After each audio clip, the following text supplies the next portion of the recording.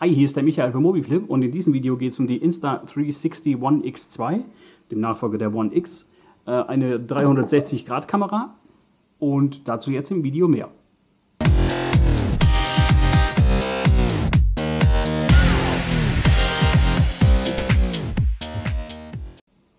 Die 360 One X2 ist der Nachfolger der 360 One X, die ich hier habe.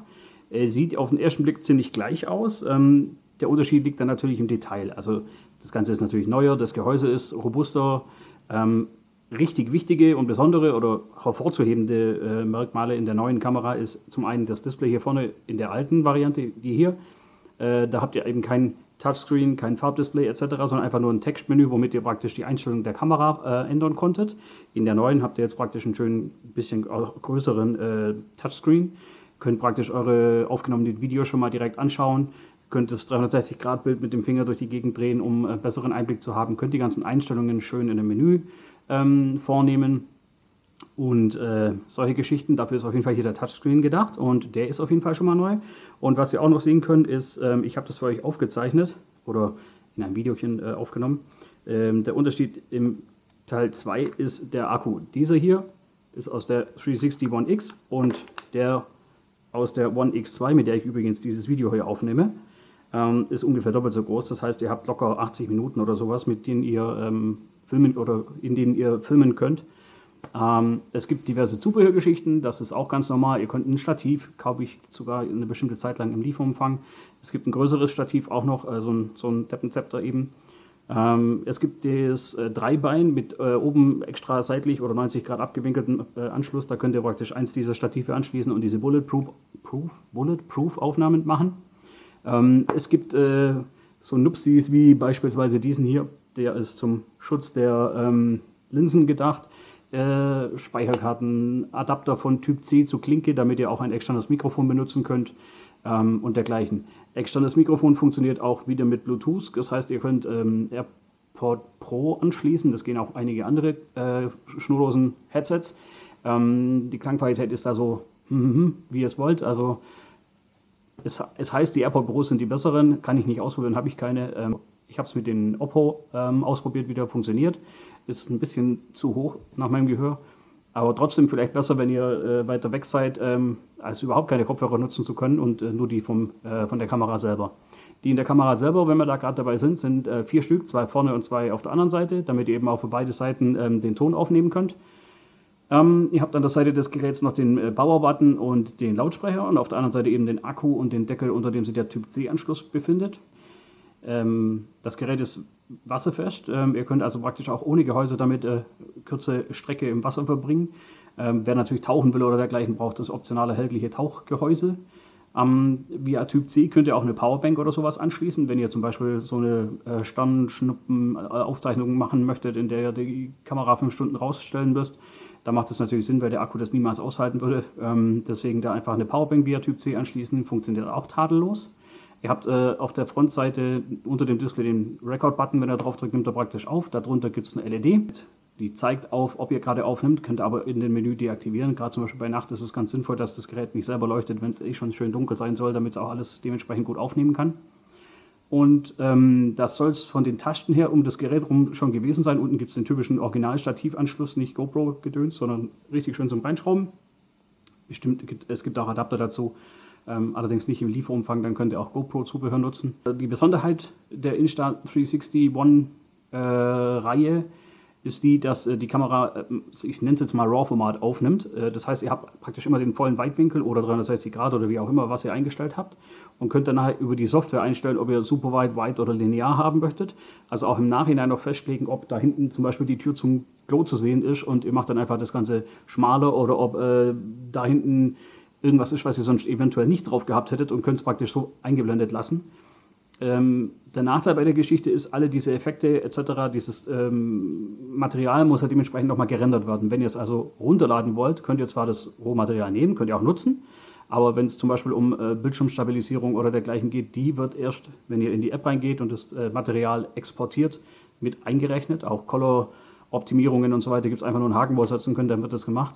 Äh, wird aber alles erst dann beim Exportieren gemacht. Ähm, wir befinden uns wieder in unserer üblichen Region hier mit der kleinen Brücke. an der ich so schön zeigen kann, wie die Kamera nun wackelt oder auch nicht. Deswegen nehmen wir das Ganze jetzt mal in 360 Grad auf. Wir befinden uns wieder in unserer üblichen Region hier mit der kleinen Brücke, an der ich so schön zeigen kann, wie die Kamera nun wackelt oder auch nicht. Deswegen nehmen wir das Ganze jetzt mal in 360 Grad auf. Ebenfalls in der App gibt es noch, egal ob für iOS oder Android oder dergleichen, ähm, diverse Anleitungen, nenne ich das jetzt mal.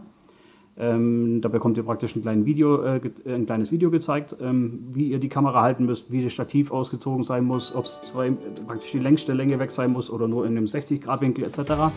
Und dann schöne witzige äh, Effekte zu erhaschen. Das klappt meistens tipptopp. Äh, manche Sachen brauchen auch ein bisschen Anlauf. Ich zeige euch mal ein Video, äh, wo ich es zum Beispiel nicht geschafft habe. Da bin ich extra diverse Wände abgelaufen, um so einen Umblättereffekt ähm, darzustellen. Allerdings habe ich es fertig gebracht, dass ich die Kamera vermutlich in dem Winkel gehalten habe, wo die, äh, Schnitt, äh, der Schnittpunkt der beiden Linsen ist.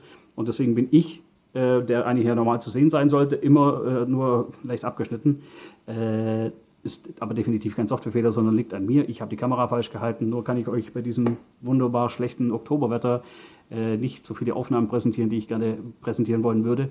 Ähm, ich habe dann noch ein paar andere Sachen äh, gemacht, die dagegen sehr gut funktioniert haben. Man kann zum Beispiel einfach nur ein Foto machen in einem bestimmten ähm, 45 bis 60 Grad Winkel von sich entfernt. Äh, und das ist einfach nur ein 360 Grad Foto, kein Video. Wird in der App äh, importiert und dann macht er da witzige Animationen draus, vom Tiny Planet über, was weiß ich, Panorama-Funktion. Gibt sechs oder sieben mögliche Export-Optionen und dementsprechend macht er aus diesem einen Foto eine richtig witzige Videosequenz. Könnt ihr dann auf Instagram sharen und so weiter, ähm, je nach Örtlichkeit macht es auf jeden Fall schon mal super Sinn und ist im Endeffekt nur ein Foto, einmal Klick machen, äh, drei Sekunden Timer abwarten, damit man auch dementsprechend das noch hinhalten kann und hat einen witzigen Effekt. Ähm, oder ich habe mich mal äh, auf, so eine, auf so eine Weltkugel laufen lassen. Auch das ist ganz einfach. Ihr stellt die Kamera nur auf den Boden, inklusive dem Stativ, äh, ein kleines Stativchen unten dran oder drei Beine unten dran. Nimmt äh, auf, dass ihr einfach in zwei Meter Entfernung einmal im Kreis um die Kamera lauft. Ähm, das war's dann eigentlich schon. Den Rest macht die äh, Software und rendert euch da in so eine kleine Weltkugel zusammen, wie ihr oben auf der Weltkugel spazieren geht.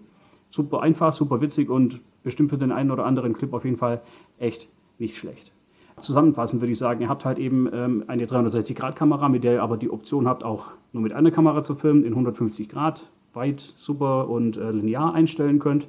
Ihr habt äh, die Mikrofone, den Touchscreen, eine schöne lange Akkulaufzeit, 5,7K ähm, bringt die Linse. Ähm, von daher kann man nicht wirklich meckern. Äh, preislich liegt ihr bei knappen 400 irgendwas Euro. Zwischen 400 und 500 war der Preis, glaube ich, für das Gerät an sich. Ähm, es gibt dann noch eine größere Preisliste, die ich euch auch bieten kann. Die packe ich aber in den äh, dementsprechenden Artikel rein, äh, was die einzelne Linsenabdeckung kostet und ähm, wie auch immer. Also die ganzen Stative und was es alles dafür gibt. Das würde jetzt das sprengen, wenn ich das alles hier noch in das Video reinpacke.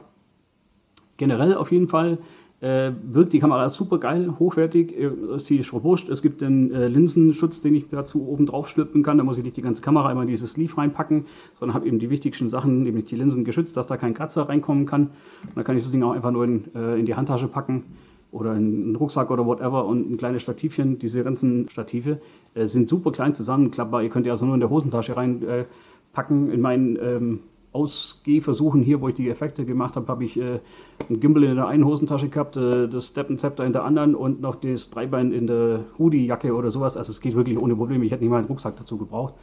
Ähm, es ist also alles sehr gut portabel. Es wiegt nicht viel und ihr könnt aber trotzdem einige witzige, supergeile Szenen damit drehen.